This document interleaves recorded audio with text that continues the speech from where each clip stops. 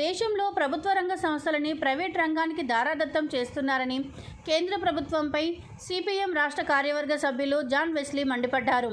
CPM జనచైతన్య యాత్ర మెదక్ జిల్లా రామాయణపేటకు చేరుకోగా సిపిఎం జిల్లా అధ్యక్షులు మల్లేశం కార్యదర్శి బాలమణితో పాటు సిపిఎం నాయకులు ఘనస్వాగతం పలికారు.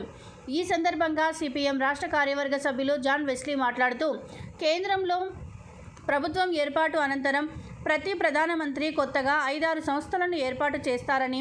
కానీ దేశ ప్రధాని మోడీ మాత్రం ఏ సంస్థను కొత్తగా ఏర్పాటు చేయలేదన్నారు.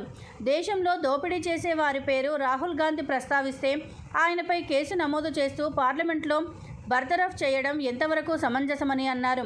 ప్రభుత్వాన్ని ప్రశ్నించకపోతే నియంత ధోరణి కొనసాగుతుందని పేర్కొన్నారు. ఈరోజు మెదక్ జిల్లా రామాయణపేటకు చేరుకున్నది. ఈ యాత్ర మెదక్ జిల్లాలోకి ప్రవేశించిన సందర్భంగా రామాయణపేట ప్రెస్ ఉద్దేశించి ఈ జన చైతన్య యాత్ర బృంద నాయకులు పార్టీ రాష్ట్ర కార్యదర్శి వర్గ సభ్యులు కామ్రేడ్ జాన్ వెస్లీ గారిని మాట్లాడవలసిందిగా కోరుతున్నారు ఈ దేశంలో వచ్చినటువంటి ప్రతి ప్రధాని కో- రెండో మూడో ఐదో ప్రభుత్వ రంగ సంస్థలు స్థాపించాడు. మోడీ ఒక్కటి కూడా స్థాపించలేదు. కానీ పదహారు ప్రభుత్వ రంగ సంస్థలు ఇప్పటికే అమ్మేశాడు. మిగతా వాటిని అమ్మేయడానికి కోరుకుంటున్నాడు. రెండు ఐదు లక్షల విలువ చేయగలిగినటువంటి స్టీల్ ప్లాంట్ను ముప్పై వేలకి అమ్మేస్తున్నటువంటి పరిస్థితి ఉంది. ఈ రకంగా దేశ సంపదనంతా కూడా కొల్లగొట్టే కార్యక్రమం జరుగుతుంటే ప్రజానీకమంతా ప్రశ్నించాల్సినటువంటి అవసరం ఉంది. రాజ్యాంగాన్ని కాపాడుకోవాల్సిన అవసరం ఉంది. సామాజిక న్యాయం కోసం పోరాడాల్సినటువంటి అవసరం ఉంది. ఈరోజు నియంతృత్వ ధోరణితో మోడీ వ్యవహరిస్తున్నాడు. అమిత్ షా మోడీలు మొత్తం రాజ్యాంగ సంస్థలనంతా కూడా నిర్వీర్యం చేస్తున్నాడు.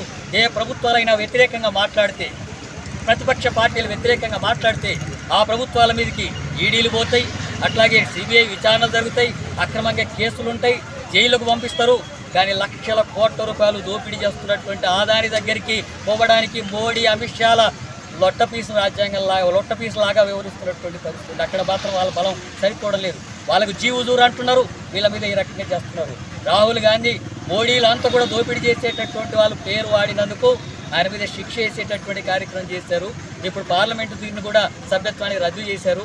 ఇలాంటి నియంతృత్వ ధోరణి జరిగితే దేశ ప్రజాస్వామికానికే తీవ్రమైనటువంటి నష్టం ఆ రకంగా నష్టం జరిగేటటువంటి విధానాలు ప్రజలు ప్రశ్నించకపోతే వ్యతిరేకించకపోతే ఎదురు తిరిగి ప్రతిఖండించకపోతే ఇంకా ఇలాంటి నియంతృత్వ ధోరణులు కొనసాగేటటువంటి అవకాశం ఉంది.